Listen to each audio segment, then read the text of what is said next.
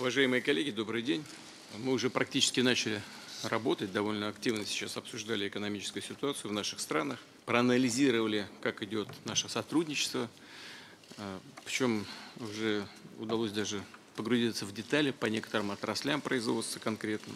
Но в начале нашей встречи хотел бы подчеркнуть, что сотрудничество в рамках Евразийского экономического союза продвигается действительно весьма успешно. Естественно, Россия высоко ценит тесное партнерство со всеми государствами, членами нашего объединения, которое последовательно выстраивается на принципах взаимной выгоды, уважения и учета интересов друг друга.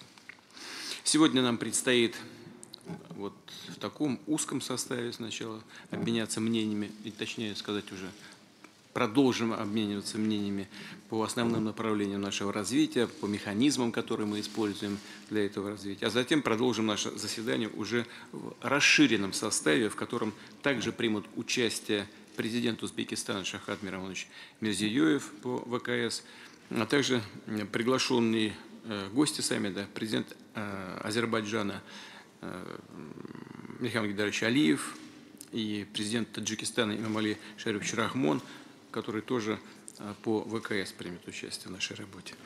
Э, Комплексно с участием делегаций обсудим конкретные вопросы интеграционного взаимодействия, в том числе в таких сферах, как обеспечение энергетической и продовольственной безопасности, технологической и финансовой независимости, ускорение цифровой трансформации, устранение регуляторных и торговых барьеров, развитие транспортной инфраструктуры. Уважаемые участники нашего заседания, современный мир находится на стадии глобальных перемен. Вступает в эпоху масштабных преобразований и стратегического развития. Приходит осознание необходимости формирования на смену однополярной системе управления новых центров принятия решения, обеспечивающих учет интересов всех участников международных отношений. Внимание, проявленное к мероприятиям, проходящим сегодня в Москве, однозначно свидетельствует о том, что одним из таких центров должен стать Евразийский экономический союз. Мы, наконец, продвинулись в вопросах поддержки проектов в области промышленной кооперации. Подготовлено решение об оказании финансового содействия таким проектам за счет средств бюджета ЕАЭС. Это знаковый документ, и мы ожидаем от него серьезной практической отдачи. Вместе с тем, по ряду важнейших вопросов внутренней повестки нашей интеграции мы двигаемся сложно и откровенно медленно.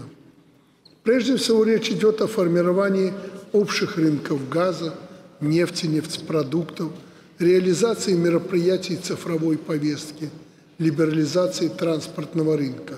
В узком составе широко об этом говорили. А ведь это основополагающая для наших экономик сферы деятельности, и их актуальность на фоне санкций только возросла. Приоритетной задачей для всех нас остается создание полноценного экономического союза.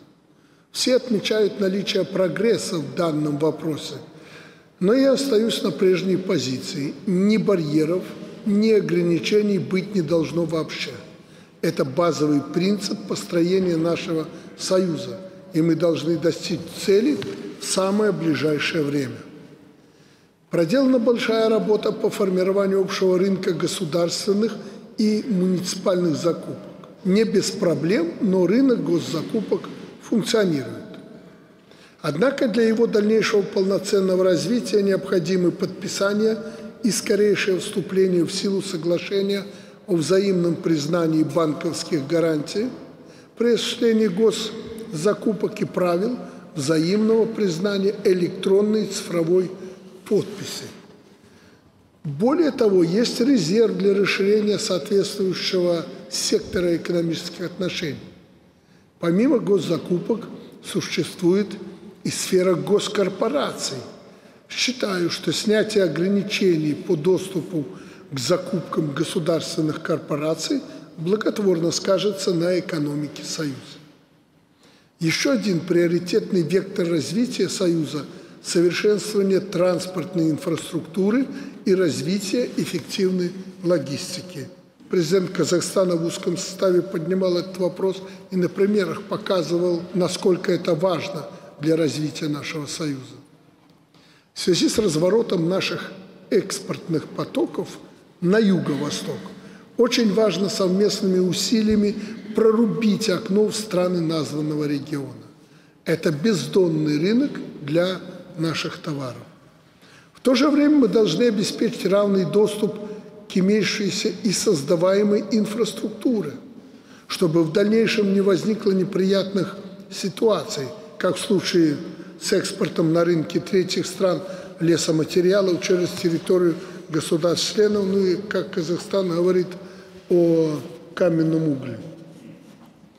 Считаю целесообразным вернуться к рассмотрению вопроса о либерализации автомобильных перевозок в третьи страны без необходимости получения специальных разрешений. Хотелось бы также затронуть относительно новый, но весьма актуальный аспект нашей интеграции – климатическую повестку Союза. Мы уже не первый год наблюдаем, как Европа активно готовится к торговле в сложившихся условиях. Разрабатываемый странами Евросоюза механизм трансграничного углеродного регулирования станет серьезным инструментом воздействия на международную торговлю. Евросоюз получит дополнительную возможность для маневра. Товары, признанные чистыми, будут допускаться на рынок, а то, что им не нужно, будет просто блокироваться. Они умеют это делать. В этой связи в рамках нашего Союза важно объединить усилия и выработать собственные подходы и меры реагирования на климатические вызовы.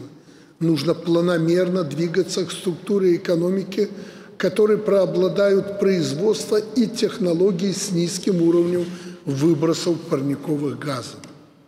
Наш ответ на санкционное давление – активизация взаимодействия ШОС, БРИКС и АСЕАН, заключение новых торговых соглашений – и конструктивное взаимовыгодное сотрудничество со всеми, кто готов с нами дружить и работать. При этом обращаю внимание, что в итоге должен быть обеспечен баланс интересов всех участников. Задача непростая, но уверен, комиссия обладает необходимыми навыками и компетенцией.